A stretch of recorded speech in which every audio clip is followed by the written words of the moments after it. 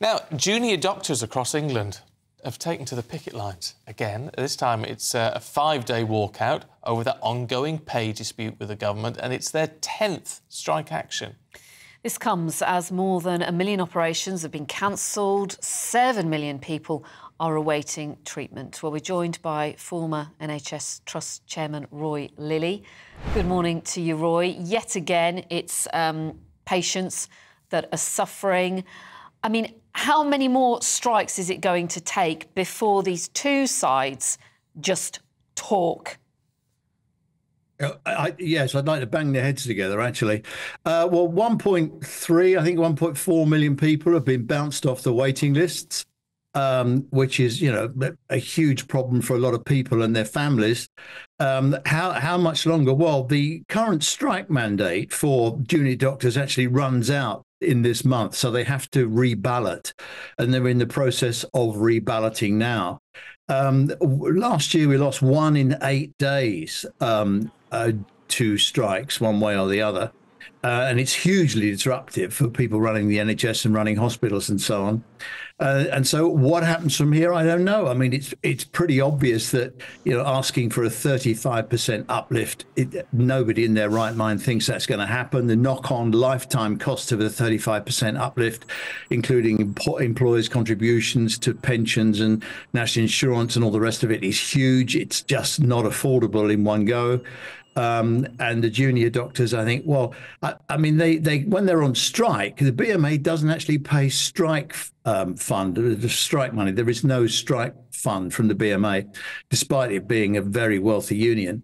And so the, the doctors lose a lot of money every time they go on strike, and uh, you know, apart from the damage that it does to patients and the and the NHS. So what happens from here, I don't know. It'll be interesting to see what the upshot of the ballot is this time around.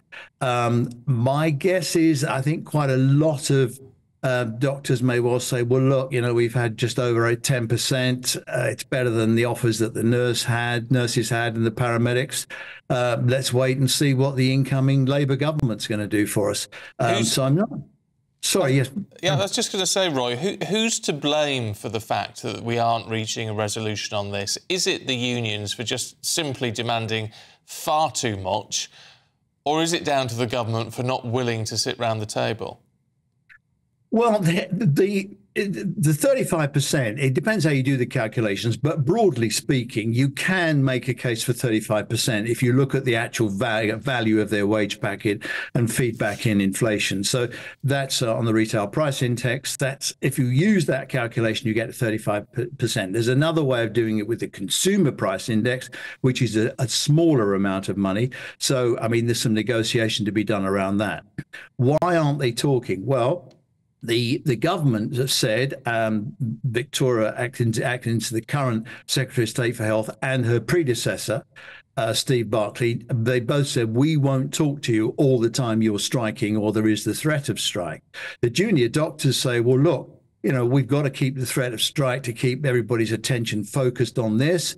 Uh, and so they neither side will talk to each other. There were some talks uh, a couple of months ago, but they didn't get anywhere. But the end of the day, you know, you have to stop this silly precondition nonsense and just sit down and talk. Because the one thing we all know is, you know, whether you have a row with your wife, the bloke next door, or in the workplace, you end up with having to talk about your problems. And so you have to sit down and have a talk.